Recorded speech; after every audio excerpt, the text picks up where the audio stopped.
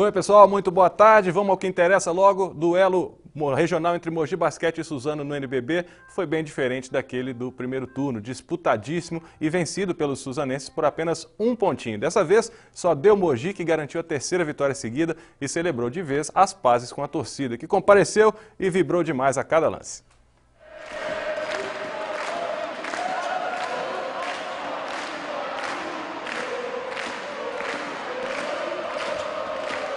Repare na desolação de quem parece não saber mais o que fazer.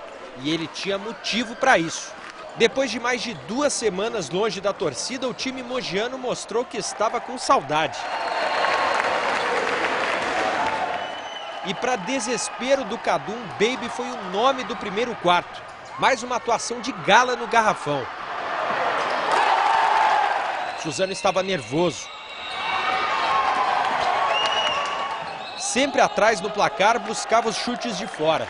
Mas a diferença técnica pesou.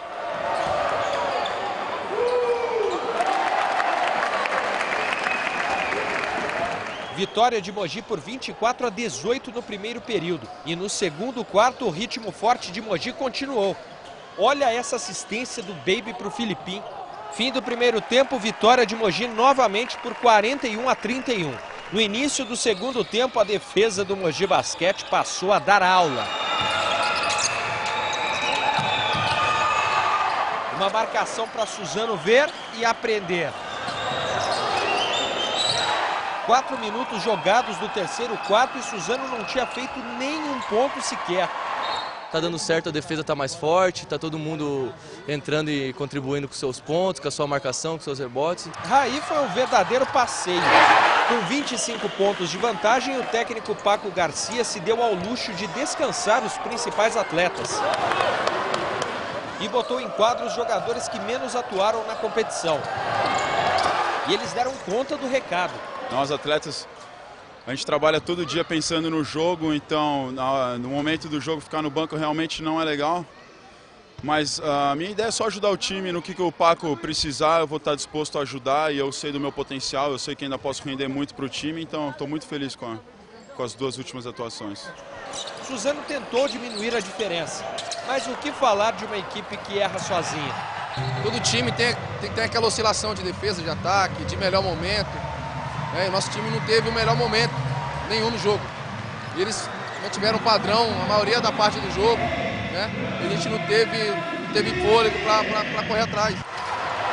Mogi das Cruzes 86, Suzano 65. O controle moral da partida foi da equipe de Mogi.